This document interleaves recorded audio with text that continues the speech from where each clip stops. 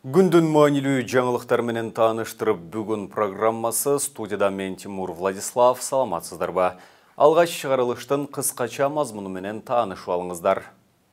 Кыргыз алтын мамлекеттик ишканасы 29 миллион акш долларын мыйзамсыз банкка которгон деген маалыматын төгүндөдү. Бишкек башкы архитектура муниципалдык ишканасы бийиктиги 65 метрлик мунара куруу идеясын кала башчылыгына сунуштады. Прокуратура жана сот тармагында иштеген кызматкерлерге нааразы болгон топ 24 майда нааразылыкка чыгышты. Президент Садыр Жапаров бүгін 24 майда иш сапар менен Орусияға Сочи шаарына келді. Бұл туралы президенттің басмасөз қызматы білдірді. Иш сапарының алқағында президент Садыр Жапаров Орусия президенті Владимир Путин менен эки тараптуу сүйлөшүүлөрдү жүргүзөт.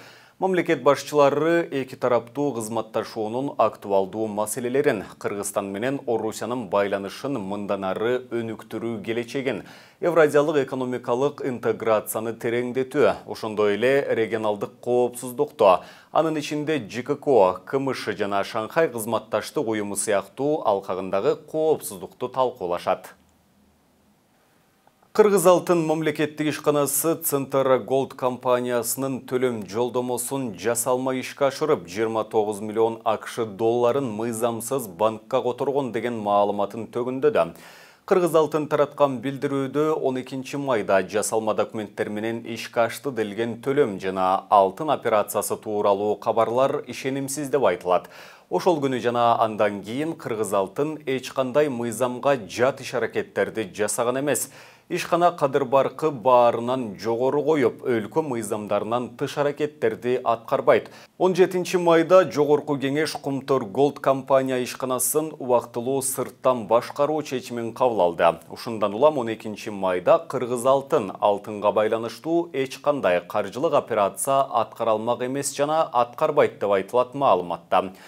Бишкектин Октябрь райондук соту 7 майда Кумтөрголд Кыргызстандын экология мыйзамдарын бузган үчүн мамлекетке 261 миллиард 719 миллион 674 миң сом кенемте төлөп берүүгө милдеттендирген.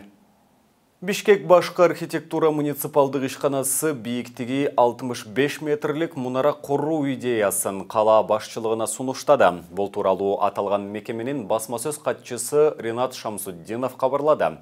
Биз үлгүсүн даярдап кала башчылыгына сунуштадык. Балким бул долбоорго жеке тараптардагы кызыкса эс алуучу жай курулушу мүмкүн. Мунаранын үлгүсү жөнөкөй архитектуралык ыкма менен чийилген. Башына түндүк орнотулат. Мунарага кафе, эс алуучу жай сыяктуу объектилерди кошсо болот. Аны баш калаанын түштүк тарабына орнотуу каралган. Бишкекте кароосуз калган башка имараттарды оңдоп түзөө иштери жана башка инфраструктуралык курулуштар аяктабай кризистик абал күчөп турганда мындай идеяга каршы чыккандар дагы болууда.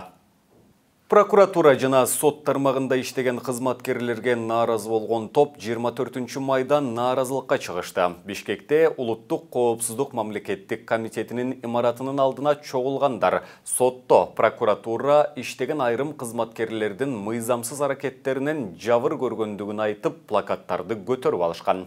Акция катышуучулары УКМКнын төрагасы Камчыбек Ташиевдин кабыл талап кылып турушат.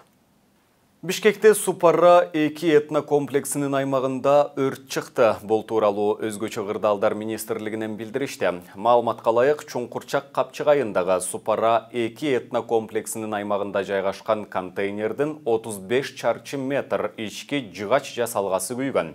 Өрттүн себеби такталууда. Ошондой эле шаардын Жибек жолу проспектисинде жалпы аянты 2 чарчы метр болгон жыгач ажааткана өрттөнгөн. Көк жарғонышындағы Босоғы көчөсүндө жыгач устунду черепица жабылган мончонун 75 чарчы метр чатыры күйгөн. Өрттүн себептери такталууда. Кинорежиссер СССРдин эл артисти жана дипломат Төлөмүш Океевдин бюсту Орусиянын Санкт-Петербург шаарындагы өз окуган киноинженерлер институтунун алдына орнотулат.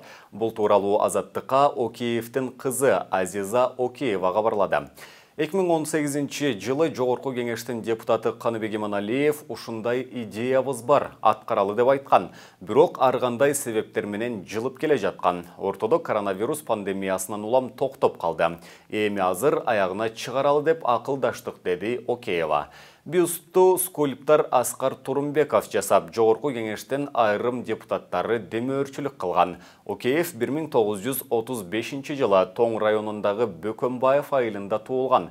2001 жылы 66 жаш курагында жүрөк оорудан Анкарада каза таап, сөөгү Бишкектеги аларча көрүстөнүнө коюлган. Қырғызстанда ақырқы суткада COVID-19 вирусына қаршы 755 адам емделді. Вирусқа қаршы күрөшкөн республикалық штабтың 24 майдағы маалыматына қарағанда жалпы емделгендердің саны 72 173 киши болды.